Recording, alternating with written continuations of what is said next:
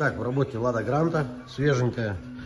Записана была на плановое ТО, замена ремня ГРМ, но не доехала, затолкали. Сейчас что происходит? Крутим, крутится, коленвал крутится, э, шестерня распредвала стоит на месте. Там явно зубцы на ремне срезала. Сейчас мы чисто ради эксперимента накинем новый ремешок, попробуем запустить. Если нет, что я в большинстве случаев уверен, на новых моторах гнет клапана. Если не запускается, значит все, поднимаем голову. Если запускается, ну, значит удача улыбнулась. Значит, смотрим, сейчас кину ремень, посмотрим. Так, э, накинул я для начала, для чистоты эксперимента просто новый ремень.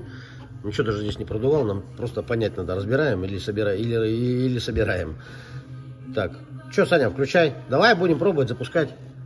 Свечи, 588 свечи, комплект ГРМ, помпа, нижний штифт. Ну, значит, этот на этом моторе не гнет. Повезло. Все, делаем полноценное ТО. Сорвалась халтура. Вот старый ремень какой снял. Смотрите, вот видите, зубки, зубков нету.